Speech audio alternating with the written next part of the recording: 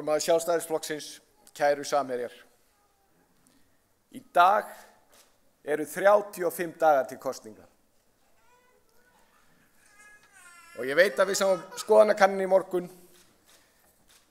en við höfum sko sannarlega séð það miklu svartara. Og þessi fundur, kæru vinnir, sýnir styrk okkar sjálfstæðismanna. Við erum eina fjöldahreyfingin í íslensku stjórnmálum.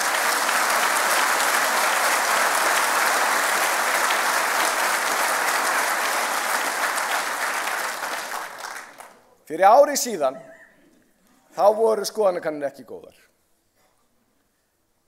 Það var hins vegar á miklu skemmri tíma sem að við saminuð snérum tablinu við og sigruðum þær kostningar með glæsilegum hætti. Það gerðist hins vegar ekki að sjálfu sér, því það þarf að hafa fyrir hlutónum og það þarf að hafa mest fyrir þeim hlutum sem eru mikilvægastir. Og verkefni okkar næstu 35 daga er svo sannarlega mikilvægt fyrir land og þjóð. Því það skiptir máli hverju stjórna. Við sjáum það til dæmis í öðru löndum. Í Venezuela hafa menn með skipulegum og samvinskuslegum hætti komið á sósialisma 21. aldar með skelvilegum afleggingum fyrir landsmenn. En við þurfum ekkert að fara þangað.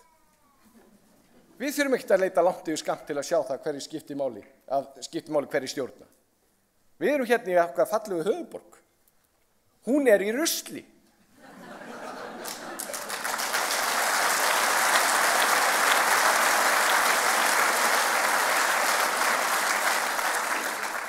Og ekki bara í bókstaflega merkingu, heldur eru stjórnarhætnir með þeim hætti að ef að svo heldur áfram svo horfir, að uh, þá fer borgin okkar í rustflokk í samanbyrðu við önnu sveitafjöld. Borgar yföld þor ekki lengur, og hver hefði trúað þessu, að taka þátt í samanbyrðakönnunum á þjónustýbúina í tengslu við önnu sveitafjöld. Það þarf ekkit að segja meira. Og stað þess að leggja áherslu að þjónusta borgarna, þá er verið að fjölga silkihúfunum í ráðhúsinu. Þetta er forgánsröðun vinstrimanna. Og kæru samirjar, það er þetta sem kostningarna núna snúast um. Sjaldan hefur vali verið skýrara.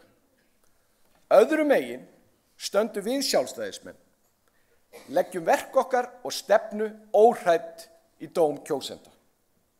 Og hinum megin er margra flokka vinstri meiri hluti, reyndar svo sami og heldur utan í stjórnborgarnar og er ábyrgu fyrir ástandir eins og þar er. Og kæru vinnir, það blasir við öllum skyni getur mönnum að það var tilhæfurlaust með öllu að slíta ríkistjórnarsamstæðinu á þeim fórsendum sem gefna voru.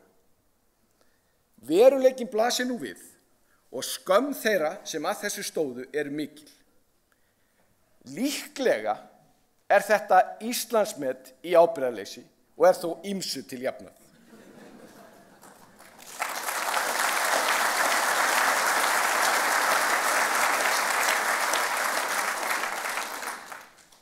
Við sjálfstæðismenn getum eins og að borið höfuð hátt í þessari kostningabartu. Við höfum komið mörgum góðum málum í höfn á síðust árum og ennþá fleiri í farvatninu. Árangurinn er óumdeildur. Nú þurfum við að standa saman sem einheld og leggja áherslu á þau gildi sem sjálfstæðistefnan stendur fyrir. Frelsi og ábyrð og standa vörðu þá sem höllum fæti standa. Kæru samirjar, það skiptir máli hver stjórnar.